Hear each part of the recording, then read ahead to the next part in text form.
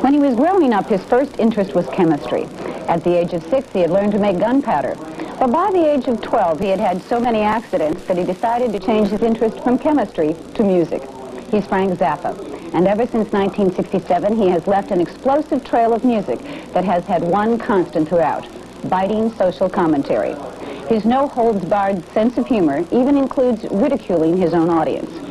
Frank Zappa has been acclaimed as a genius for his versatility and consistently fine art under many different guises. Composer, band leader, movie producer, musician, and record company executive. He is my guest this evening. I am, I must admit, I was rather surprised to see you in a very traditional, conventional navy blue suit and tie. A navy blue suit with kind of a pink shirt, though. Uh, does that make That it all right? it better, I expected you to uh, come in in some sort of bizarre outfit, and you look so businesslike, and so uh, I'm a business-like kind of a guy. you are? Yeah. People don't think of you as a businesslike kind of guy. Well, there's a good reason for that, because the only thing that they know about me is things that they have read or things that other people tell them about me. Mm-hmm. Since nobody ever gets to see me up close, you know, I'm always brought to you secondhand, and the attitudes of the people who report my activities tend to color the way in which I'm reported. So what should they know about you? I mean, here's the opportunity for Frank Zappa to tell people what he's really like, so that they're not surprised when they see you appear in a, a navy blue conservative suit. Well, I'm a person with uh, common sense, Mm-hmm. basically, who does uh, a certain type of art. Common sense, to me, that's always been very important. I mean, I see a lot of people in this country without it. Uh, yeah. I also, I mean, when I was being raised, my Well, I mean, mother... they have them in other countries, too. That's true. We won't just lay the blame on this country. My mom always uh, instilled in me common sense. She said, I don't care what else you do in life, if you just use your head and you think things out, you'll be okay. I think that was terrific advice. Where did, uh, where did you learn common sense? Or is that something you think you're just born with? No, I got it by accident. You know, because, Yes. uh, uh, my parents did not necessarily bang me over the head and say, now listen, common sense is really good because, uh, well, they were sensible people, but th- they weren't advocating it all the time. You know, I just learned it by accident. Some of the things, though, that you did when you were a teenager uh, didn't seem to show a whole lot of common sense. I mean, you got into a lot of trouble when you were in high school. And Well, it's possible to get into trouble in an organized institution simply by being different than the rest of the people in the institution. And uh, if um, a person gets into trouble, that does not necessarily mean that that person is bad. What about, tell me about some of the different things that happened in high school. Well, I managed to graduate uh, with about 20 units less than what you were supposed to have because I'd been thrown out so many times. And one of the reasons why I was thrown out is because when I was a senior in high school and my uh, younger brother was a freshman, he was kind of sexually assaulted by one of the shop teachers during a class. And I found out about this uh, during uh, the break between classes and immediate, immediately went over there and held this particular shop teacher at bay with a, a wood-turning chisel and a pair of tin snips and, you know, did blackboard jungle on this guy and uh, until the dean of men came in and took me away, you know. But uh, I, I don't like to stand for um, people pushing me around and pushing my relatives around, you know. And I, I get very upset about things like that. So, interesting, so though. they threw me out of school. It's interesting, though, that when that incident is brought up, and I believe it was mentioned briefly, uh, some reference to it in a People magazine article, it isn't brought up why you did that. It's only, it only is brought up what you did, and no one knew the reason behind that. I mean, I think if anyone, as they are hearing the reason now, they would say you were well within your rights to do something like No, that. No, I think I was well within my rights to go in there and do something like that, but I also think that what happened to me in school was the result of the kind of stupidity that is prevalent in schools in a small town. If you have somebody in the school who is different than the local norm. And uh, we were discussing this before, that without deviation from the norm, progress is not possible. I think the norm is fine. You want to be a normal kind of a guy, you want to drink beer, uh, watch sports on television, and do all that kind of stuff, do it. If that makes you happy, you should. But if you have other ideas about ways to improve things, new inventions, some new kind of art, whatever it is that you want to do, in a free society, you should be free to let your mind develop to its fullest. And you should receive support from the community for doing this because ultimately what you do as a creative person is going to benefit the rest of the so-called normal people in the community. Right, now you've had the freedom to do those things. I don't know if you've always felt that you've had the support. Well, you, when you say the freedom to do those things, certain things can only be fully executed with finances. You know, if you have an idea for an invention, for instance, uh, and you need the uh, tools or the machinery to build the thing, you may have the, the freedom to think it up, but you don't have the financial freedom to construct it. Mm -hmm. And same goes with artistic projects. You might have a great idea for an opera, but you're not going to be able to mount your opera unless you have enough money to pay off all the unions that have come in to ruin the, uh, the situation for the arts the way it is in America today. Now, I'm sure there are a lot of people that are listening and hear you say that remark about the unions, and in the context in which you use it, you said the unions that come in to ruin. They do ruin it. Absolutely. I think that that's one of the worst things that's happened to America today is the way in which unions of all descriptions have affected the quality of life in the United States.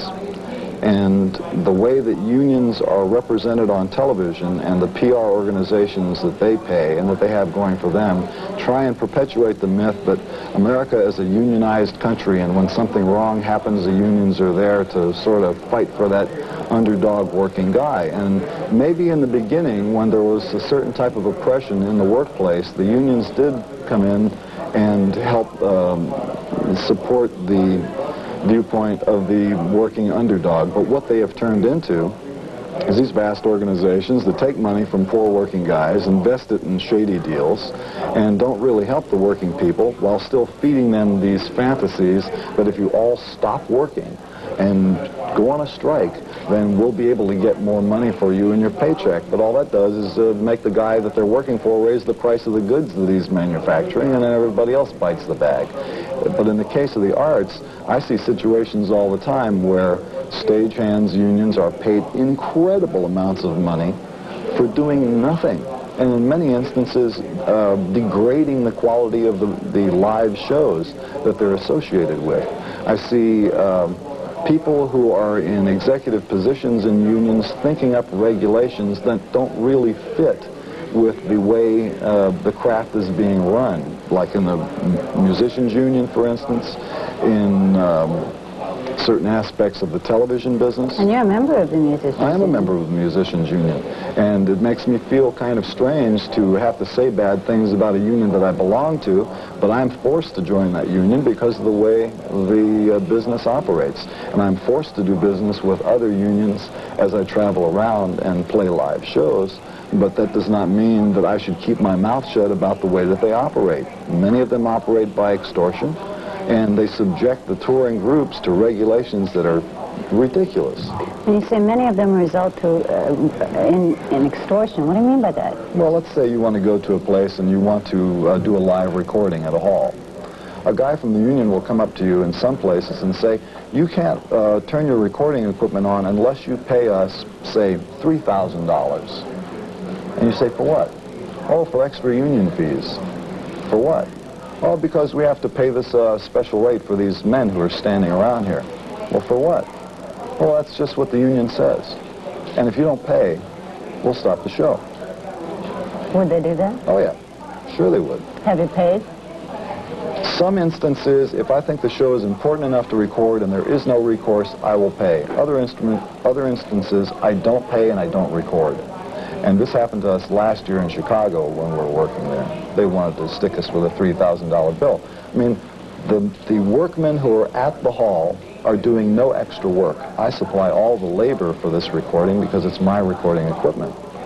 I supply all the equipment and the manpower. Why should I have to pay an extra fee to a bunch of guys who are sitting around who care nothing about what I'm doing, will do nothing to help the quality of it, or not putting in an extra second of work or an extra ounce of muscle power, why should I be bribing them? And it's not just Chicago. There are other cities where... Do they give you a receipt when you give them that kind of money?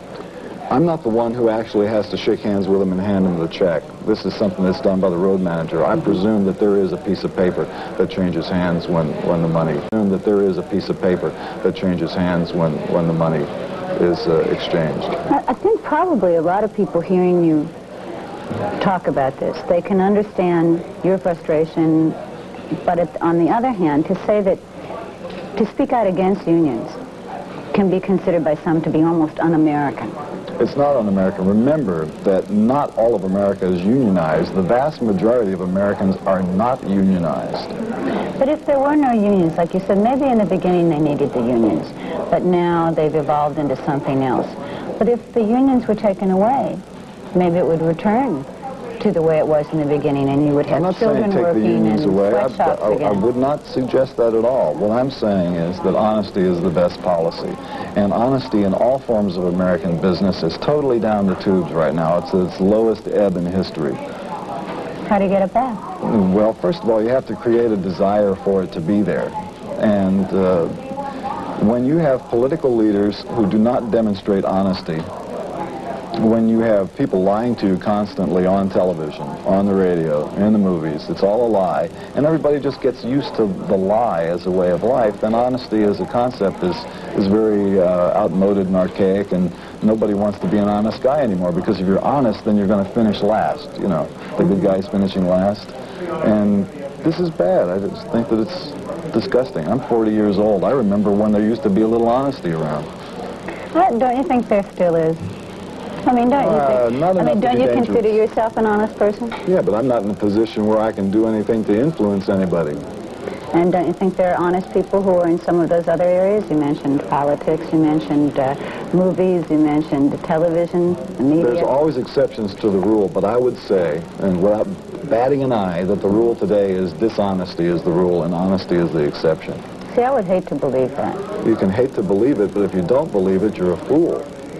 You think so? I see. I think yes. In every instance that you have mentioned, in every area, I think that there are a few people who perhaps are not totally honest, or who perhaps are not honest at all, uh, who are dishonest. I don't think that's the norm, though. I mean, If you're talking strictly about quantity of people being honest versus quantity of people being dishonest, maybe you could come up with a statistic balance mm-hmm. that would show that maybe 51 or 52 percent of the people are honest and 48 are shady. But the few that really control things are not honest, and they count for more votes than the extra ones who might be honest. Do you know what I mean? I know what you're saying, but who would those people be? I don't think we have an honest president. I don't think that he is surrounded by honest people.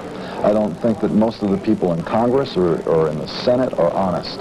I don't believe that they are honest people. And why do you say that? What makes you believe that? I think the, the proof of that is the way the country operates. And I don't think that most of the people who head up businesses are honest. See, I would hate to, to feel that negative. I mean, I realize that un- unless you open your eyes to a situation as it really is, you can't do anything about changing it. But I would hate to be that negative, that pessimistic about uh, the shape of this country and the shape of the people in this country. You would hate to be that negative and be right. Yeah. That's what would really be horrible. Now, if you could be that negative and somebody would suddenly just come up with all the proof and say, it's really okay, you're just a negative kind of a person. You know, that would be like a cute little dream for a minute there. But I believe that I'm right. I believe they are dishonest. I believe we have allowed them to be to be the way that they are. We have voted them in. We got them in there, and we're letting them do it because we're not honest enough to face up to the fact that we are owned and operated by a bunch of really bad people. All right, then, then let's just say that what you're saying is true. I don't totally agree with it, but let's If say that's it all true. because you're a nice person, so you don't. All right, thank you. My mother thanks you. Let's say it is true. What do honest people do to change it? I don't know whether they can. Uh, that's what really sounds pessimistic. Yes, I, it does. You know, I don't know. Fatalistic almost. No, it's not fatalistic. I mean, you can try, but I don't know whether or not the the effort will yield results. What do you do? I mean, if you are feeling all of these things, how are you able to get out of bed the next day if you are feeling that things are this bad in this country? Well, I do what I do because I love to do it. You know, I'm dedicated to music, and I get up and I do my music, and I do it my way, and I try not to compromise. Mm-hmm. And if I get a chance to go on television and say this, then I do that too. Yes. And other than that, what else can I do? You know? I'm not about to march around the street with a sign in my hand. That doesn't do anything. But you can remind people that something's wrong because the tendency today is to just gloss over it. You know, the, the, the, the desire for escapist activities is really at quite a peak now. And media likes to uh, accommodate that desire. And the, the more you can escape from how horrible things really are, the less it's going to bother you, and then the worse things get. We have to break away for just a moment, or things will get pretty bad around here. I know that. Yes, we have to uh, have a few commercials. We'll do that. We'll come back and we'll continue this conversation with Frank Zappa. Stay with us.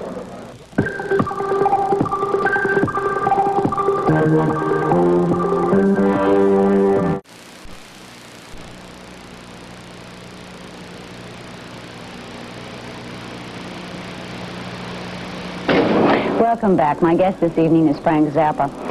He has been called outspoken. Uh, it has been said that his music uh, shows biting social commentary.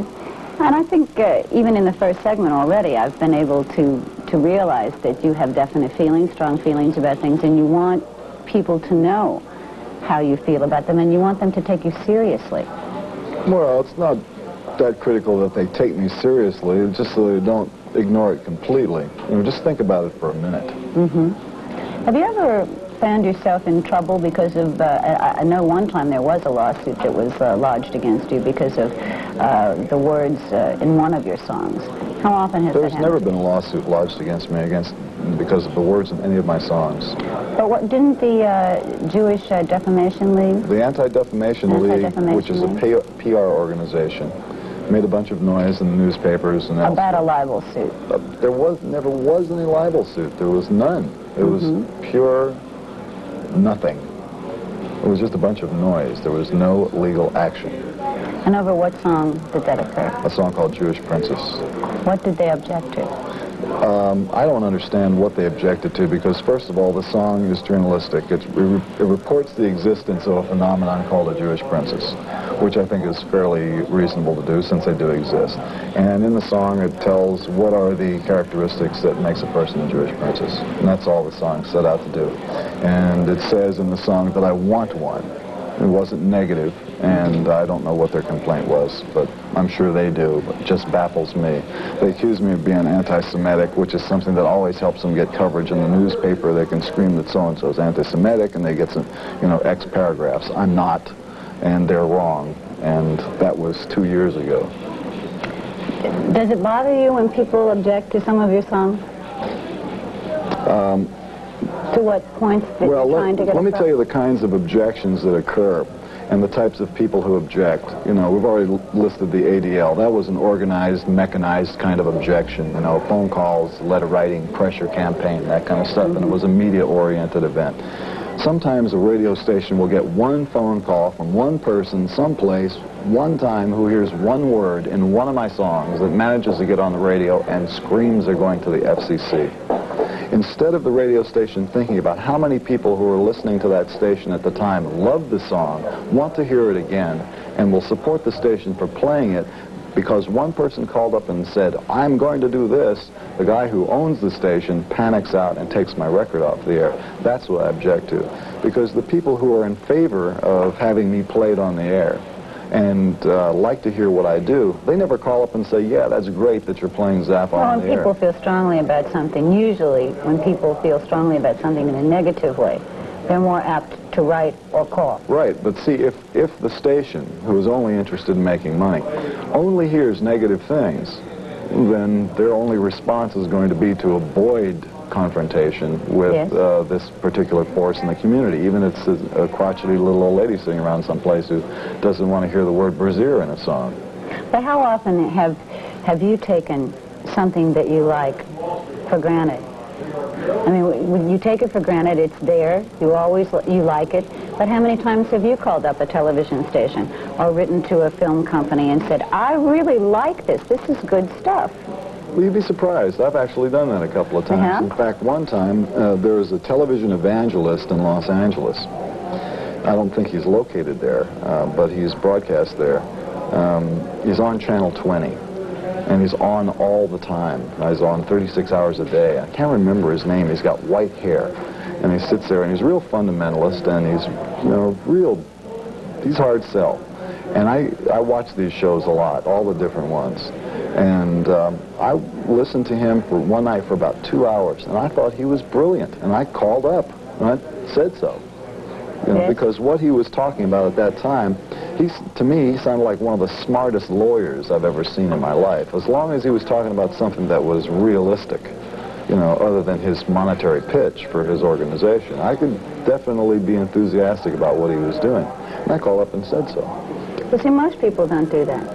Yeah, but they should. You know, if you see something that you like, you should uh, push it. You should, you know, uh, let the people who have invested the money in the phenomenon know that their money was well spent, so they'll keep spending it on that and not shift the money to some other project. Mm -hmm. What makes you really angry? The thing that makes me really angry is the exaltation of ignorance. That really makes me mad. You know, I, I was telling another person a little while ago uh, that people have thought that hydrogen was the basic building block of the universe because it's so prevalent. But I believe that the basic building block of the universe is stupidity. Now, stupidity has a lot of charm to it, but ignorance doesn't. Isn't ignorance bliss? No, I wouldn't say so. Never having been truly ignorant, I couldn't tell you about really a blissful state like that. And I've observed a lot of other people who are ignorant. And I wouldn't say that they were in a state of bliss either. They were okay. They were having a good time. I wouldn't call it bliss. Why does it make you angry, and what can you do about that anger? How can you change it? Well, I can't change it, you know, but that doesn't keep me from being angry about it. Mm-hmm. And in which, in what ways are people ignorant, and how should they change? Remember, I said the thing that makes me mad is the exaltation of ignorance. Yes, I you know, when understand you celebrate ignorance, you know, and make that the national standard, How is it celebrated? It's celebrated in all uh, records that achieve massive airplay on the radio, all television sitcoms, um, most films, and um, most commercials, and also in schools. How in schools? Schools train people to be ignorant with style. They give you the equipment that you need to be a functional ignoramus. American schools do not equip you to deal with things like logic. They don't give you the criteria by which to judge between good and bad in any medium or format. And they prepare you to be a usable victim for a military-industrial complex that needs manpower. As long as you're just smart enough to do a job and just dumb enough to swallow what they feed you, you're going to be all right. But if you go beyond that, you're going to have these grave doubts that give you stomach problems, headaches, make you want to go out and do something else. So I believe that schools mechanically and very specifically try and breed out any hint of creative thought in the kids that are coming up. So what's the alternative for the parent who would agree with you? Well, remember that the school isn't the only place that a child gets educated. If you realize that the schools are doing damage, and I believe this, I believe that schools do a lot of damage to kids, then you should do what you can at home to help give them something to counteract what's happening to them at school. You mean encourage creativity? Encourage them to read things other than what the school gives them. Encourage them to watch things on television other than cartoons, because I don't believe that television is all bad, and some things that are on are, are very useful. And give them some support. Let them feel that you as a parent uh, want them to be smart, not just to be successful, not just to be a, a nice little person that you want them to develop their thinking apparatus. Do you do that with your kids? Sure. What kind of schools do your children go to? They go to a private school. A private school. They Would used to go to a public school before they started busing in Los Angeles. I took them out as soon as the busing started. You're against busing. Absolutely. I don't believe that it's it's not right. It doesn't work. It was it will never do the job that it was supposed to do. And basically, it's a way for the people who own those horrible little buses to make money. All right, so they're in private schools. What kind of private schools? Because private schools, I mean, can cover a range of different kinds of institutions. It's- it's- Progressive kind of school? It's progressive academic kind of school where they learn Open classroom? I don't know what that means. It was open Well, class. children progress at their own speed in different areas. I don't think it's that way at the school. It's it's pretty structured. Mm-hmm. Do you think children should have structure? Yes. Discipline? Yes. You a disciplinarian? Yes. Hard disciplinarian? Well, I'm not mean, but I think that unless a person comes in contact with some form of discipline, learns how it works, and can then discipline themselves, they're going to be in a lot of trouble when they finally go out into the real world. Mm-hmm. Like the best way is to be able to discipline yourself. But if you if nobody sets an example for you, then you won't know what discipline is, and somebody will always have to inflict it on you from elsewhere. It'll be your foreman, it'll be your boss somewhere. They'll have to keep banging you over the head to make you do something. Whereas if you learn what discipline means, you learn that you have to do things on time, it's- certain things just have to be done. You learn that, then you do it yourself, and you have less conflict with the rest of your environment. How do you enforce it?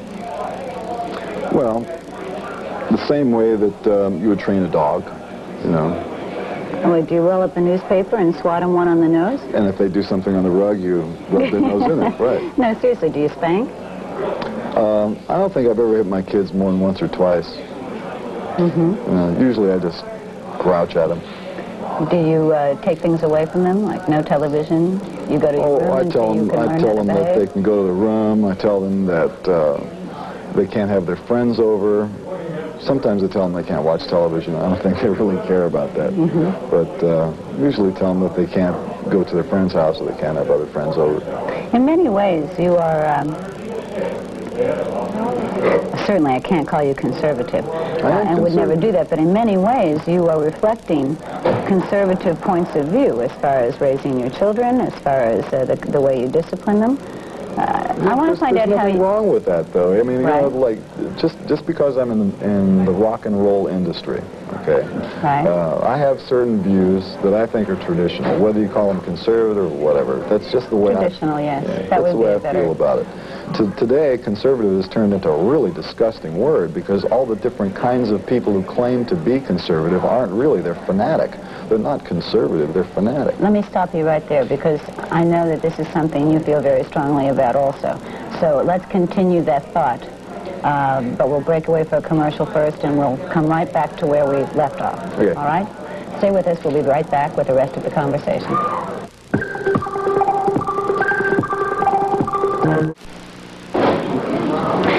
Were talking about uh, being traditional, about Frank Zappa being traditional, and I had used the word conservative originally. Uh, pick up on the conversation, your feeling about the word conservative and how the definition of it has changed or what it means now as compared to what it meant uh, when you were a kid growing up. Well, I didn't pay any attention to the word when I was a kid growing up. I mean, was interested in gunpowder and stuff, you know. But uh, Certainly not real conservative, maybe it is. well, that's that's con- gunpowder's pretty conservative these days. The uh, the way the word is being used today is real wrong because most of the people who are screaming that they're conservative are really just fanatics. And this moral majority religious syndrome, not just to single out the moral majority as one entity, but it is the one that people normally look at. There are a lot of other ones, a lot of other companies in the television religious business that are functioning today, today that claim to be conservative but are really fanatic. They're as fanatic as the Muslim sects that are causing all the problems in the Middle East. They're dangerous and they're wrong. But in this country, now see, that's your opinion, all right? And you have stated it. Mm, That's right. Okay. You have the freedom in this country to state your opinion. But And I hope I continue to have that freedom. And that's why I would not like to see them continue in the direction that they're going. but you take away their freedom. I'm not taking away their freedom. I'm saying that they are wrong in what they're desiring to do. When they say that, the only way that you can be a righteous person is to do it by their book, then that's wrong. My recollection of when I was going to school is the Constitution says there's a church and there's a state, and they shouldn't mess with each other. And if they do, then that's against the law. Ain't it? Is that the way it goes? All right, when you have a president who has been elected by with the assistance, very strong assistance, of fundamental religious groups who have put money and electronic technology behind his campaign to put him in there, they're shaking hands pretty good. And obviously, now that he's in the White House, he has to help them out because they can cause him a lot of problems for his programs while he's in there. So it's a very dependent deal, the same way as the president is dependent on military and industrial organizations that have supported his, uh, his regime. The, the thing that's bad about letting any kind of religious organization, whether it's fundamentalist, whether it's Jewish, whether it's Catholic, whether it's Hindu, whatever, to get involved in the business of controlling the secular life of the population is that it's got to lead to the same kind of problems that you have in the Middle East. Yeah, I want to pick up on a word that you used in uh, referring to um, the Reagan administration. Instead of using the word administration, you use the word regime. It is a regime. Why do you think it is a regime and not an administration? Because our, administration is almost a benevolent word, you know? Let's talk semantically here.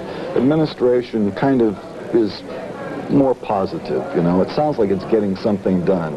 And a regime is a little bit more iron-fisted type and that's why I would use that uh, linguistic distinction.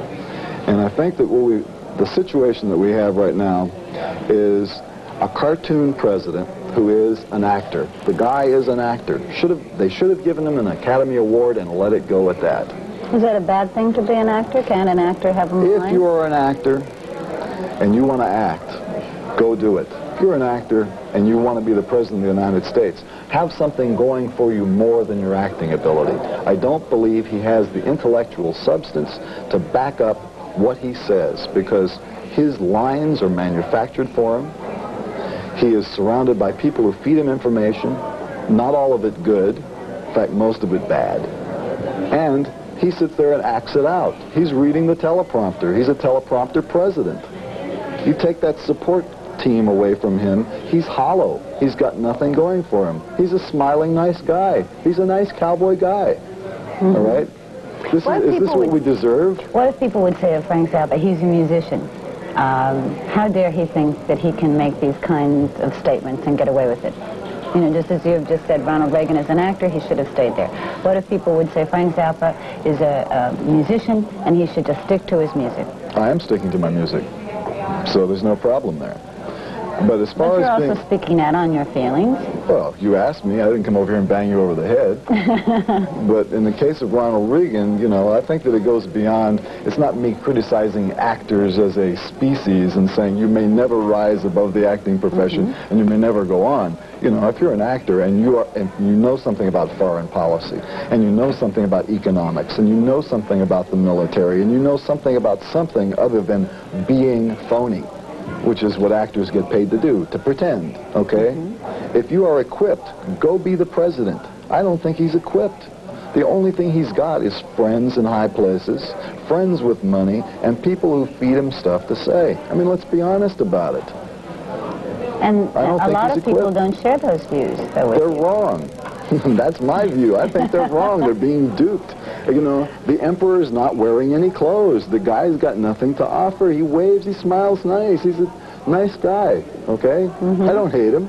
I just think he's not equipped to be the president. He was elected by 17% of the population in, a, in an election where the people were offered a choice between Tweedledum and Tweedledee, you know, and Tweedledee got it. Obviously, you feel strongly about this, though, because it's something that you like to talk about. I mean, you, even though, yes, you were invited and I asked you the question, uh, you have definite opinions on it. Sure. I have opinions about it because I think about it every day. It's impossible to watch the daily news, which I watch a lot of. I try and check up on what's going on in the world, and it's impossible to watch the news without having some kind of gut reaction to what's going on. And when I see the pathetic solutions that are being offered by this regime to the problems facing the, the United States, economic and otherwise, I, I get very angry because they're the wrong solutions. You know how to solve the economic crisis? Tax the churches. Tax the churches and all the businesses that they own and tax them all the way back to their inception. They should pay their fair share of what it costs to run the country. You tax the churches, you won't have to take the food off the dish of the school lunches. There's plenty of money there. They're making plenty of money. Tax them. Nobody in government is going to stand up and say that, and it's the most common sense solution to the economic problem. There's plenty of money owed by those organizations who claim to be religious and who are actually in the real estate business, they're in the supermarket business, they're in the chocolate business, they're, they're in a lot of businesses above and beyond helping people to get to heaven. Mm-hmm. And these are all very temporal uh, businesses, and they should be taxed the same as the guy who owns a gas station. We have to break away again. Uh, when we, I know that uh, you were raised Catholic. I want to find out exactly where you are as far as religion, organized religion is when we come back. Can we do that? Sure. Okay. We'll be right back.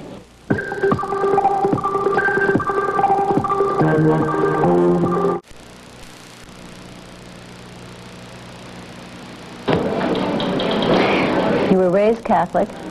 Uh, do you belong to any organized religion now? No, I don't pay dues to any organized religious organization. Uh, would you consider yourself a religious person? Absolutely. And and how do you show that within your life? I mean, It's not a matter of showing it to anybody. I don't think that by showing your religious beliefs to anybody that makes you a religious person. And how do you live it? I live it through my music and I live it through the way that I conduct my business. What about the way you uh, conduct yourself with other human beings? Do you feel a responsibility to other human beings be- because of the way you handle your own religion? Of course. And what is that? Well, as an employer, I am responsible for the well-being of the people who work for me, and I take that responsibility seriously. As an entertainer, I'm responsible for delivering the best of what I can do to the audience that has bought a ticket to see it or buys a record to hear it. I have, you know, I have a feeling of responsibility. I take it seriously, and I act accordingly. And what about your friends, your neighbors, your family? Well, I don't have any friends, and uh, my neighbor is a urologist. You don't have any friends? No, I only have, um, when, when you're the boss, you don't have any friends. Well, what about people outside the business or I don't, I don't have any time for social activities. Mm-hmm. Then who would be your friend? Well, I have a wonderful wife and four children. I like them. They're my friends. So your wife is your friend? Right. Do you think that's important for a relationship? Well, if you're not friendly, it's not going to be too fun to live together. But there's a difference between being friendly and being in love with someone and having that same someone be your friend. Oh, yeah, true. Friendship is a very important dimension, and I think that a marriage without friendship has got to be pretty dreadful. Mm-hmm. Do you, when you're not working, do you just sort of cut yourself off from the rest of the world and, and you're with your family? Well, when I'm not touring, I'm at home. I, I live in Los Angeles, but I don't go out in Los Angeles because it's a very horrible place. Then why do you live there? For my you- business. Oh, for your business. And um, I just stay home. I have a studio in my house. I do my recording there. Mm -hmm. And uh, that's it. And when I'm done doing that part of my work, I go off on the road, and travel around, and do this kind of stuff. I, I know you're very anti-drug, drugs of any kind. Right. Uh, how did that start? Well, I was just never very enthusiastic about um, drugs or drug culture. And uh, I saw what it had done to a lot of people, musicians that I'd worked with, the ways that it affected their lives.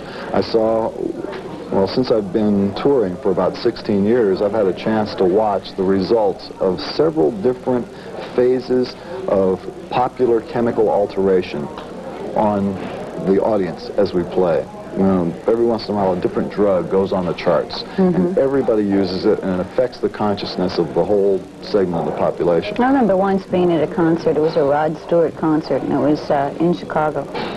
And uh, I remember walking in there and being so overwhelmed by the odor of marijuana that uh, that I, cou- I couldn't breathe. Yeah, it's pretty stick.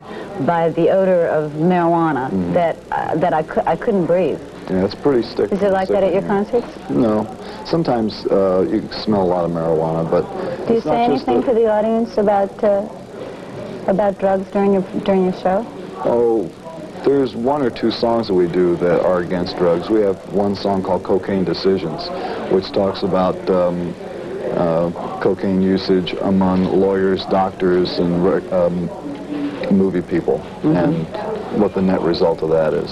But I don't give them a lecture on stage. A lot of times kids will try and hand me a joint. I just throw them, throw them away. Mm-hmm. So against all drugs, though, cocaine, marijuana, Yeah. alcohol.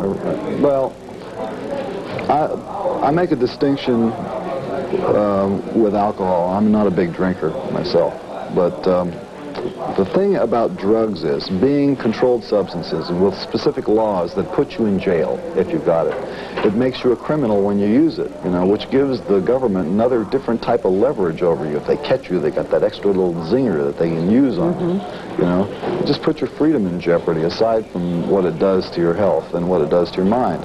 I believe the government likes to have drugs in the marketplace because it keeps the population in a very usable state. Do you really believe there's some Yes. sort of conspiracy? Absolutely. There's no question in my mind that if you follow the pyramid right up to the top, that there's no difference between the people who are importing it and the people who are arresting you for using it. What makes you feel that? Um, would it, does it sound far-fetched to, to uh, talk about uh, using an entire American community for chemical or biological warfare testing? Well, not, ever, not would you- anymore. It Well- doesn't sound far-fetched anymore. Well, you know that it's been done. Our own government has decided to use certain American cities to test chemical warfare agents and, and biological warfare agents on American citizens without their knowledge. Just decided to do it because the time was right and the area was right and they did it. And you only find out about it 10, 15 years later, okay?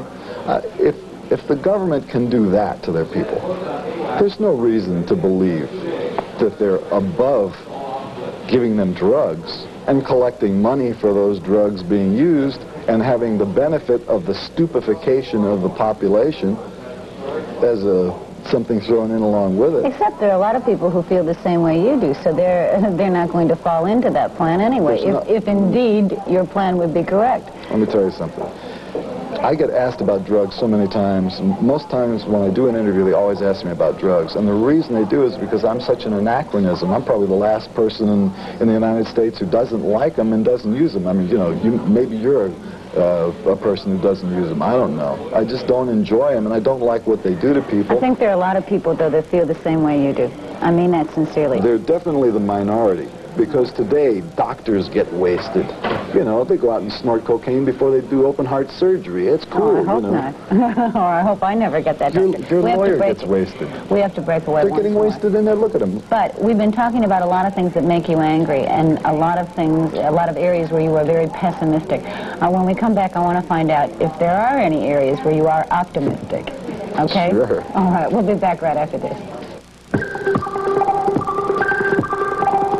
What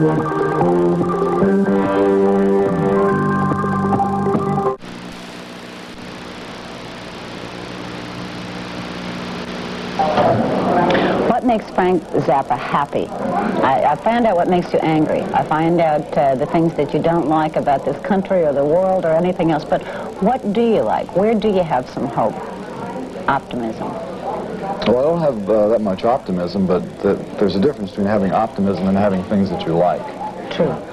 Um, I like good food when I can find it, but it's getting very difficult to find it. You certainly couldn't tell by your weight that you like good food. Well, I've been sick. have you? Yes, I've been. Uh, I've had uh, gastroenteritis for about the last uh, eight or nine days, so I've been living on soup and other nasty things like that. So, But you're feeling better now? yeah, I'm recovering. You won't catch it. It's all right. I won't breathe. no, I wasn't afraid of that. But you're very, very thin.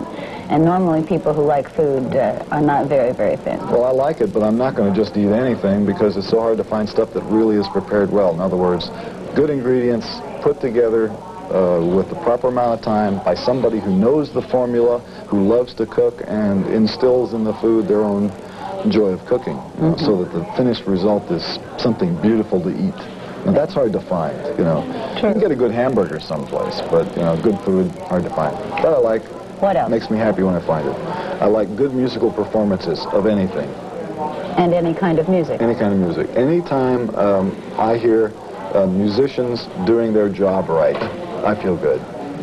And this is also not something that happens all the time. I mean, not musicians don't always perform up to their maximum capability. Um, What else? I like to smoke cigarettes, and I like to drink coffee, and I like sex. And uh, other than that, if I- American. If I find an honest politician someplace, I might get a laugh out of that. I've uh, seen a couple of people uh, on television who I thought said things that were admirable, and I mentioned one to you. I said I like John Glenn, and I was even enthusiastic about Barry Goldwater when he was, uh, you know, doing his little number about the moral majority, which I thought was very courageous of him. Even though I couldn't agree with him on everything else that he says, I could appreciate that. And in fact, even went so far as to invite him to our concert when we were in Arizona. Was he able to come? No, he was, uh, I think he was at a ham radio convention that night. Mm-hmm.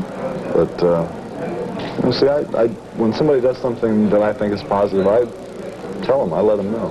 Yes. What about uh, your kids? What about their Love future? them. Yes, I know you love them. What about their future? What do you hope for them? Well, it seems that my daughter has decided to learn to play the drums. I hope that she keeps up with that because I think the, a good girl drummer would be nice. Mm-hmm. And uh, my one of my sons was interested in baseball. He got to be very good at that. Now he's decided to play the guitar. And I would kind of like to have him be a musician if he... You would. Yeah. Sometimes parents don't want their kids to follow in their footsteps because they found uh, they found it difficult. They don't want their kids to go through those same kind of difficulties. Well, I wouldn't want him to go through the same kind of difficulties either, but what's that got to do with being a guitar player? You know? Yes. Just the joy of being able to plug it in, turn it up, and go like that. You know, he should have that uh, that fun in his life if he wants it. We're going to have to continue this conversation another time. The time has just flown by and we are completely out of time. I thank you very much, Frank Zappa, for being my guest Thanks this for letting me come on the show. All right. And thank you for being with us. Good night.